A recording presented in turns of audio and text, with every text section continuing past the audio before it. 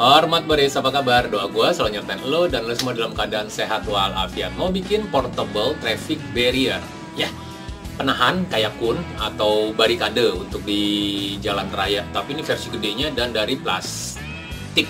Untuk pelengkap diorama, untuk ngedukung diorama biar lebih ada pernak-pernik kayak gitu. Kira-kira modelnya seperti ini.